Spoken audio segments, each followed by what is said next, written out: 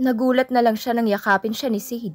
Nanigas ang buong katawan niya pero atubiling yumakap na rin siya sa lalaki.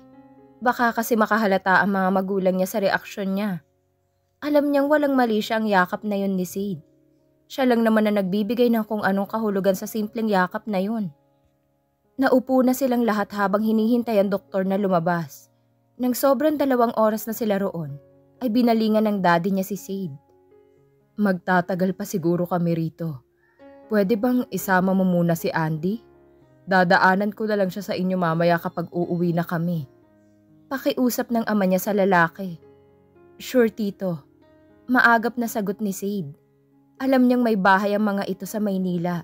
Pero kasalukuyang nakatira si Sid sa isang kondo malapit sa school nito. Kinuha iyon ng mga magulang nito at ipinangalan kay Sid. Regalo ng mga ito ang kondo sa kaarawan ng lalaki.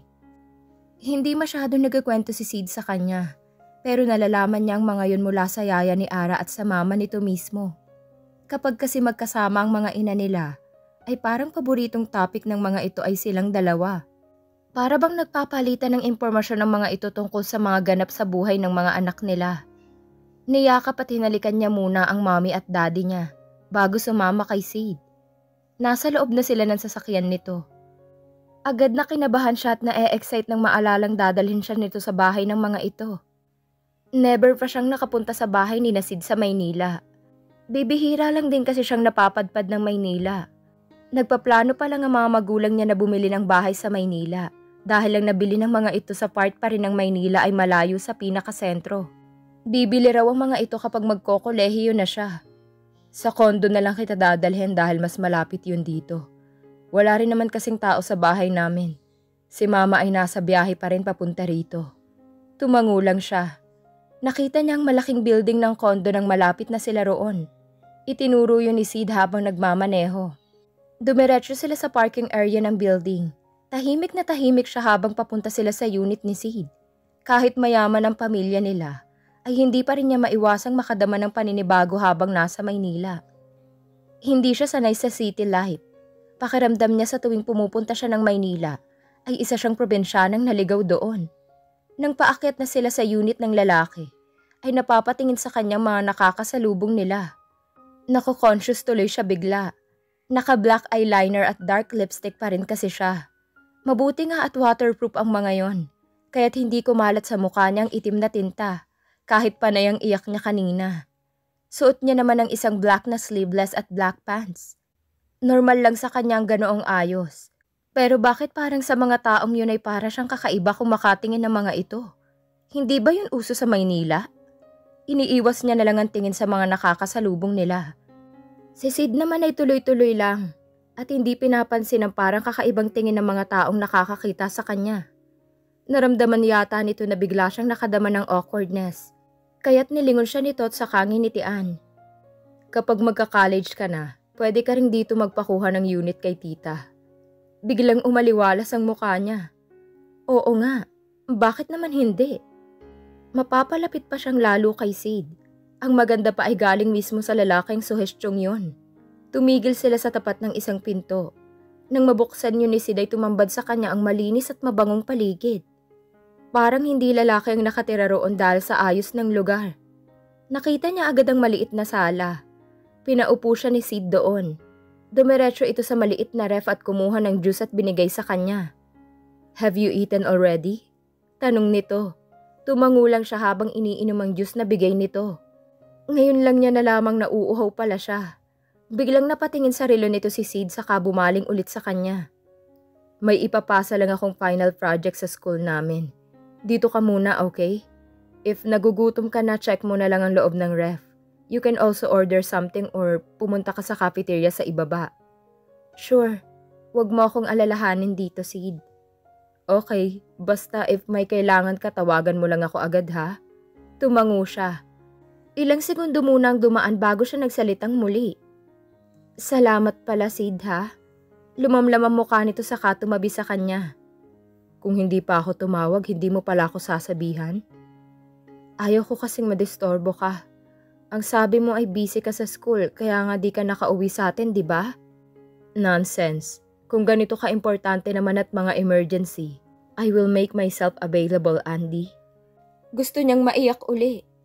Hindi nga nagkakamali ng pagpili ng lalaking mapapangasawa niyang mami niya. Kiming ngumiti lang din siya sa lalaki. Nagpaalam na uli ito pagkatapos ng maraming mga ibinilin sa kanya. Nang makaalis na si Sid ay sa kanya inilibot muli ang mga mata sa loob. Tumayo siya at tiningnan ng bawat sulok. Napadpad rin siya sa maliit na kusina roon. Nang maikot na niya iyon ay bigla siyang tumigil sa isang pinto. Alam niyang yun ang kwarto ni Sid. Alam niyang mali pero kusang umangat ang isang kamay niya para hawakan ang doorknob. Titingnan ko lang kung nakalak. Sabi niya sa sarili ng sawayin siya ng utak. Pumihit nga ang knob at umawang ng kaunti ang pinto. Dapat nga niyang isara na yun uli. Pero nagtuloy-tuloy na ang pagbukas niya. Madilim sa loob kaya't hinanap niyang switch ng ilaw. Nang mai-on iyon ay tumambad sa kanyang may katamtamang laki na kama. Kahit ang kwarto ni Sid ay malinis na malinis. Nakangiting pumasok siya. Umupo siya sa malambot na kama nito.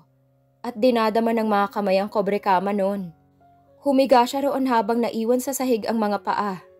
Kinuha niya ang una ng lalaki para amuyin sana yon nang biglang may mahulog sa mukha niya, galing sa loob ng punda ng unan.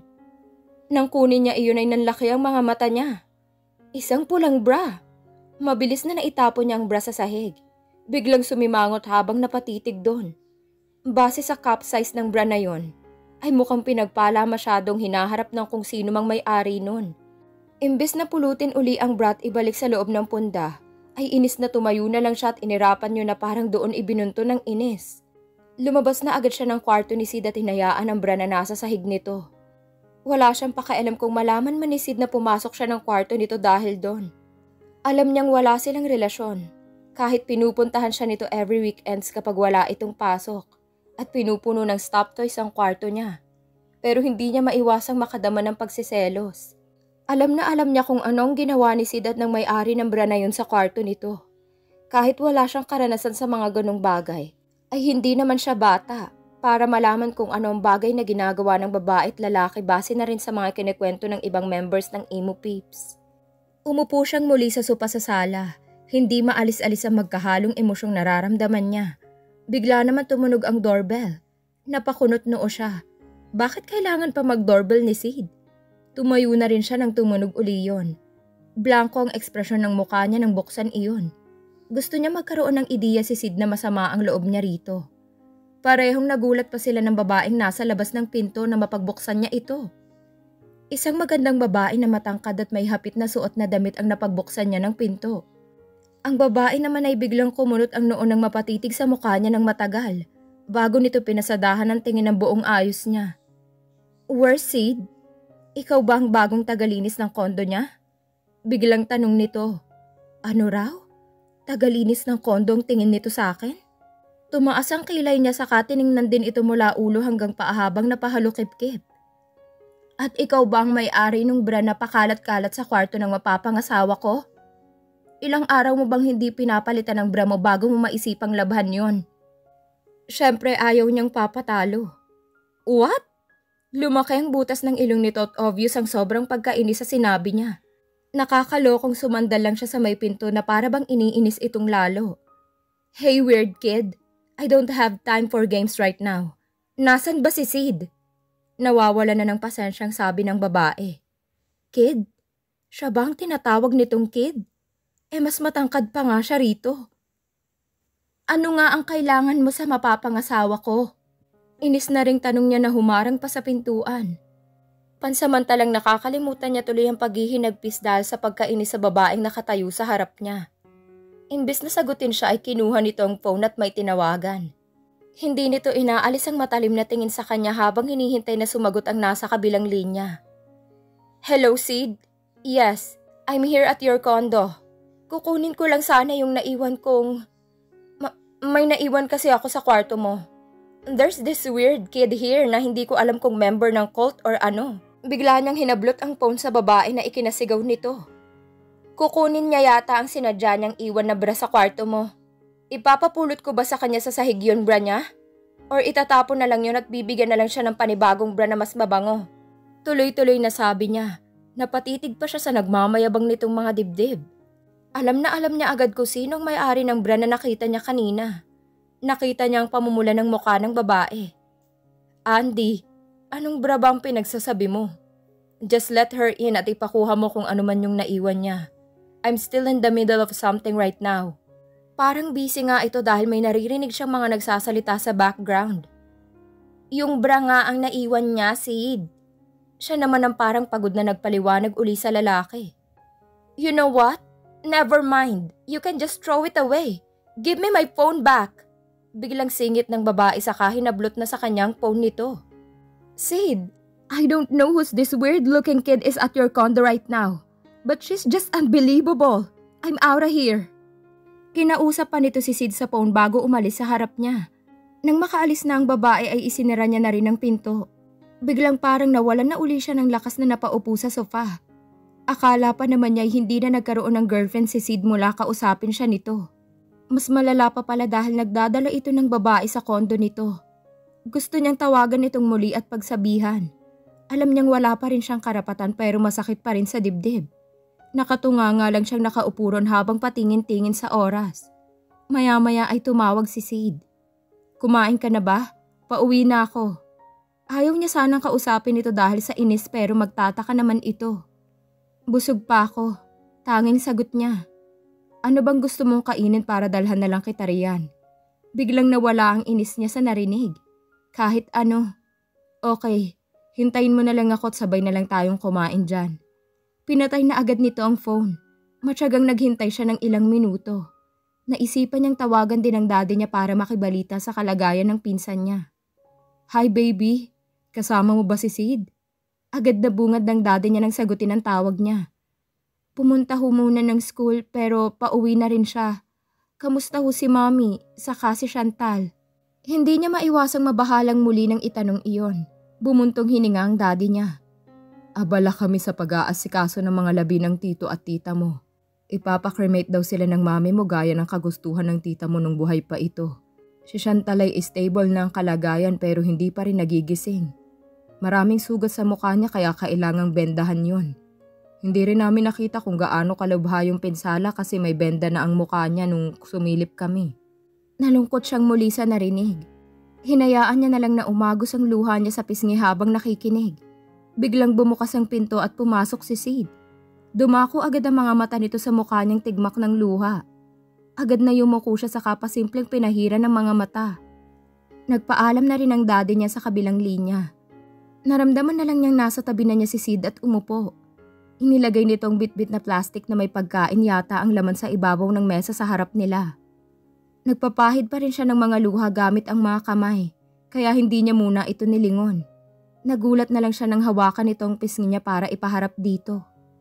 Kumuha ito ng panyo sa bulsa ng pantalon nito, saka pinahid ang mukha niya. Nahihiya naman siya kaya't kinuha niya na lang din ang panyo sa kamay ni Sid. Ako na. Hinayaan na lang din siya nito. Hindi nito inaalis ang mata sa kanya habang nagpapahid siya ng mga luha. Pagkatapos niyang pahira ng muka, ay hindi niya alam kung ibabalik ba kay Sid ang panyo o iuuwi iyon para malabhan muna bago isauli. Keep it. Sabi ni Sid nang mapansin ang tila pa nagtatalo ng isip niya. Tipid nang umiti siya rito at ibinulsa na lang din ang panyong hawak. Kumain na muna tayo, Andy. Alam kong kanina kapagutom. Ibinigay nito ang biniling pagkain sa kanya Kumuha rin ito para rito. Tahimik na kumakain sila. Kahit gutom siya ay parang wala rin siyang gana. Paisa-isa lang ang subo niya habang patingin-tingin kay Sid. Yung babaeng pumunta rito kanina. Devi. Singit nito. Devi? Yun ba ang pangalan ng babae? Bakit hindi na lang dugtungan ng letter L sa huli nito para mas bagay ang pangalan dito? What happened earlier, by the way? Parang walang anumang tanong ni Sid na kumakain pa rin. Yeah, may naiwan daw yung si Devil. Devi. Pagtatama ni Sid sa pangalan ng babae kahit alam nitong sinasadya niya ang pangalang binigkas. Sumimangot siya. May naiwan nga yung si Devi. Diniinan pa niya ang pagkakasabi ng pangalan ng babae. I think yung bra na nakita ko sa kwarto mong naiwan niya.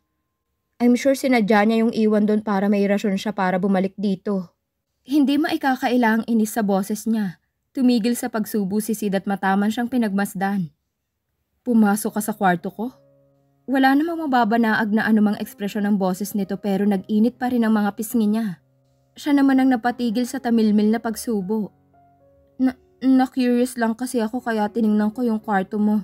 Tapos nung yayakapin ko sana yung unan mo, saka naman bumagsak sa mukha ko yung bra nung devil. Devil na yon. Nangungunot na uli ang noon niya sa inis. Napangiti ito ng tipid saka itinuon na ang mga mata sa pagkain. Yayakapin mo yung unan ko? Mahinang tanong nito na hindi pa rin tumitingin sa kanya. Nakatutok ito sa pagkain. Napalunok siya. Ang bibig mo talaga, Andy. Ya yayakapin kasi ano, gusto ko sanang matulog. Hindi ako makatulog kapag hindi ko yakap ang unan ko. Nakahanap uli siya ng palusot. Tumangutangulang ito habang itinuloy na ang pagkain.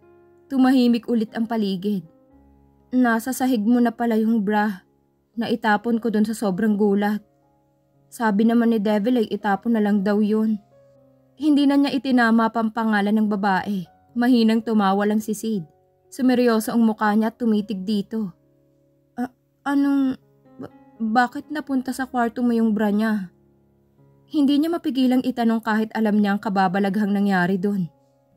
Tumigil ito sa pagkain ulit at seryoso na ring napatingin sa kanya. Maya-maya ay huminga ng malalim. Huwag mo nang alamin. Yun lang ang isinagot nito. Tinawagan mo na ba ang daddy or mommy mo? Iniba na nito ang topic. Sakalang bumalik ang lungkot sa mga mata niya. Tumango siya at wala nang iba pang masabi. Baka kasi maiiyak lang siya uli. I'm sorry about what happened, Andy. Hindi ko alam kung paano ako makakatulong para gumaan konti ang pakiramdam mo. Ngumiti siya ng tipid sa lalaki. Naa-appreciate niya na nasa tabi niya ito ng mga sandaling yon. Nakakatulong ka na ng malaki sa amin, Sid. Kayo ni Tita Janice. Andun na pala siya sa ospital at tinutulungan sina mami at daddy sa pag-aasikaso. Hinawakan nito ang isang kamay niya sa kama tipid na ngumiti rin. Anytime, Andy.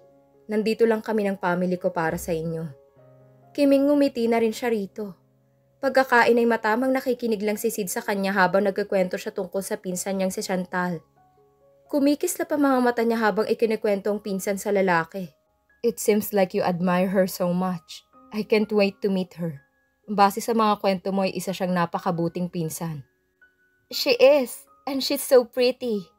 Lumuwang palalo ang ngiti niya nang ini-imagine ang magandang mukha ng pinsan. Mistisa kasi ito kaya maganda ang pagkakahalo ng jeans ng tita niya at ng ama nitong Australian. Tumangulang din si Sid at hindi na nagsalita pa. Kinahapunan na siya sinundo ng ama. Nagpasalamat ito kay Sid bago sila umalis pabalik ng Tarlac. Hinatid lang siya ng ama saka ito naligo saglit. Pagkatapos ay inayos nitong mga gamit ng mami niya dahil babalik ito ulit sa ospital.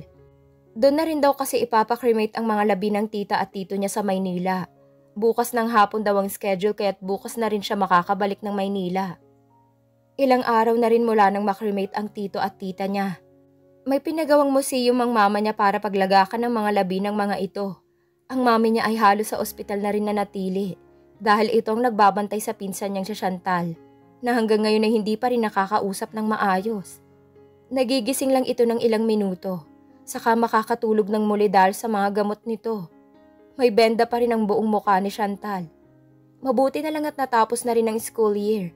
Napapadalas na ang pagbisita niya sa ospital. Si Sid naman ay sinasamahan din siyang magbantay minsan kapag wala itong pinagkakaabalahan. Sa ngayon nga ay nasa loob siya ng private room ng pinsan niya. Nakaupo siya habang nakatingin sa nakakaawang mukha nito. Umuwi lang saglit ang mami niya kaya't siya muna ang naiwan doon. Napatingin siya sa pinto nang bumukas iyon. Otomatikong napangiti siya nang makita si Sid.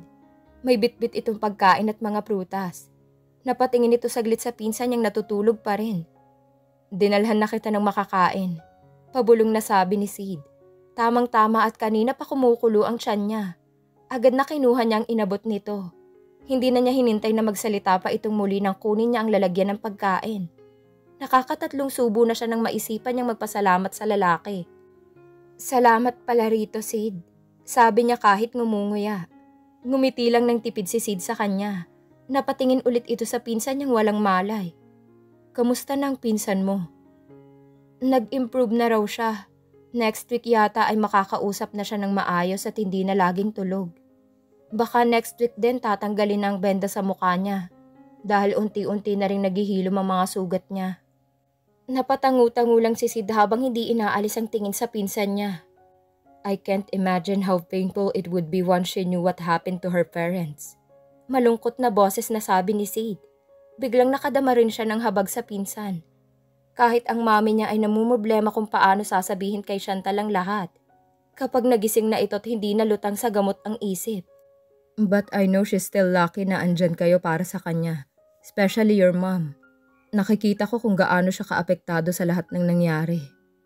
Naaawa na rin ako kay mami dahil alam kong hirap na hirap pa rin ang kalooban niya sa pagkawala ni na tito at tita. Pero kailangan niyang maging matatag. Siya ang nag-aasikasong mabuti kay Chantal gusto ko siyang damayan pero hindi ko alam kung paano gawin yun. Dahil nasasaktan din ako sa nakikita ko. Gumaralgal na rin ang boses niya. Mabilis na inalo siya ni Sid. Hinahagod nito ang likod niya nang magsimula na siyang umiyak. I'm sorry. I didn't mean to make you cry too. Hindi man lang kita pinatapos muna sa pagkain mo. Apologetic na sabi ni Sid.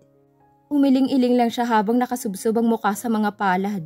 Gusto niyang sabihin dito na wala naman itong kasalanan. Ma'am, Dad, sabay pa silang napatingin kay Chantal nang marinig ang mahinang pagtawag nito. Ipinilig-pilit pa nito ang ulo habang humihigpit ang kapit sa magkabilang gilid ng kama. Ma'am! Dad! Lumalakas ang boses nito na para bang papuntang hysterical. I'll call the nurse. Maagap na sabi ni Sid na agad lumabas ng kwarto. Lumapit naman siya agad kay Chantal. Agad na hinawakan niyang isang kamay nito ng akmang maghihisterya na nga ito. Chantal! Tawag niya sa pangalan ng pinsan. Himalang biglang kumalma nga ito at hindi na kumilos. Umupo siya sa upuang nasa tabi ng kama nito. Hinawakan na niya ng dalawang kamay ang isang kamay ng babae. Chantal, it's me, Andy. Naging normal na nga ang paghinga nito kahit nakapikit pa rin. Tanging mga mata lang kasi ng pinsan ang makikita dahil sa benda na nakapalibot sa buong mukha nito. Nang dumating ang nurse at ang doktor, ay atubiling binitiwan niya ang kamay ng pinsan. Inakay muna siya palabas ni Sid para hayaan ng doktor at nurse sa loob. Nang nasa labas na ng kwarto ay sakto naman dumating ang mami at daddy niya. Anong nangyayari sa loob? Nababahalang tanong ng mami niya nang makita sila sa labas ni Sid. Nagising si Chantal at hinahanap si na tito at tita. Hindi niya inaalis sa mukha ng inang mga mata nang sabihin yun. Nakita niyang magkahalong emosyon nito. Umaliwalas iyon nung una dahil sa saya ng malamang nakakapagsalita na si Chantal. Pero agad ding bumalik ang pagkabahala. Sa tingin niya ay kinakatakutan nito ang sandaling sasabihin na nito sa pinsan niya ang masamang balita. Tungkol sa pagkawala ng mga magulang nito. Niyakap niya ang ina at pinipigilan ng sarili na maiyak. Kailangan sila ng ina niya ngayon kaya kailangan nilang magpakatatag para rito. Mahigpit na yumakap din ang mami niya sa kanya na para bang umaamot ng lakas. Ang daddy niya ay yumakap na rin sa kanilang dalawa para sabihing andun din ito para sa kanila. Tahimik na nakamasid lang si Sid sa kanila. Magkapanabay silang napatingin sa pinto ng kwarto nang lumabas ang doktor. Ngumiti ang doktor pagkatapos ng malalim na paghinga. She's very stable already. Pwede na siyang makausap ng matagal. Still, I would suggest na wag niyo siyang bibiglain tungkol sa nangyari sa parents niya. She's still in the process of healing. Paliwanag ng doktor. Tumango ang mami niya. Hinayaan niya munang pumasok ang mga magulang. Hindi niya kayang makita ang magiging reaksyon ni Chantal kung sakaling mapipilitan na ang ina na sabihin ang tungkol sa mga magulang nito. Naiwan sila ni Sid sa labas. Hindi siya mapakali kaya't hinawakan ni Sid ang isang kamay niya. I'm just here, Andy. Mahinang sabi nito na mahigpit na hinawakan ang kamay niya. Sakalang parang pumanatag ang loob niya. Iginiya siya ni Sid sa upuan sa labas para umupo muna sila habang naghihintay. Tahimik na sinamahan siya ng lalaki hanggang sa nabulabog sila ng malakas na sigaw at palahaw na iyak galing sa loob ng kwarto ni Chantal. Sabay na napatayo sila ni Sid para puntahan ito. Naabutan nila ang tagpo kung saan naiiyak na niyayakap ng inang pinsan niya. Sa tingin niya ay sinabi na ng mami niya ang masamang balita.